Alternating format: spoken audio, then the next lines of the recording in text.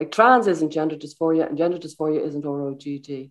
So trans is for there's a many different definitions of trans. One I'm I personally prefer is this one, which is trans is an umbrella term to describe people whose gender is not the same as and doesn't sit comfortably with their biological sex. And it's not a diagnosis, it's a description of somebody. And very often it's a description, it's a self identified description. So I could identify as trans if I wished, and anybody can.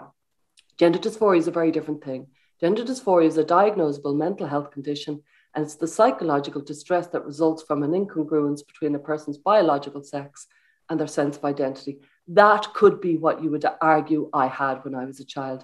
It wasn't called that because it had a different name, but that's very common in mental health. You know, conditions go through different terms depending on the context of the era. And so, yeah, gender related distress is what I often call it.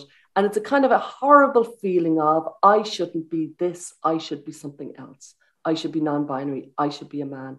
And it's, it feels very pervasive and it's very, a very uncomfortable feeling. And then rapid onset gender dysphoria is a new phenomenon. Dr. Lisa Littman is here to talk about it. She noticed it, first of all, many people were noticing it, but she got the study out that you know, interviewed something like 257 parents and discussed what was happening to these adolescents. It's a new presentation that describes a phenomenon of adolescents who suddenly and rapidly experience a socially mediated expression of gender dysphoria.